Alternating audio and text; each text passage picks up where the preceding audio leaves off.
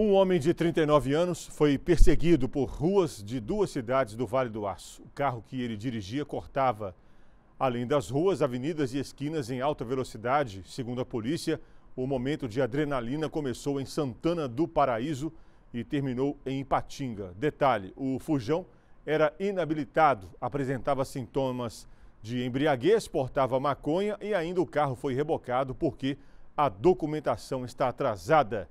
Miguel Braz está de volta ao vivo com os detalhes dessa fuga alucinada, Miguel.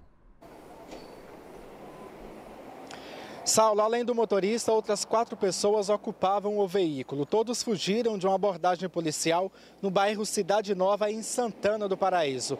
De acordo com o boletim de ocorrência, o motorista alegou que não parou na, que não parou na abordagem porque reconheceu um dos policiais militares, porque seria o mesmo que teria apreendido uma motocicleta dele no fim do ano passado.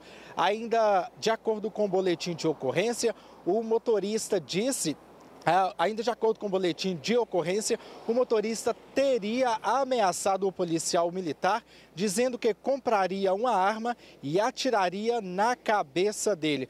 Portanto, este motorista foi preso. A Polícia Militar ainda informou que ele é inabilitado e a documentação do carro está atrasada.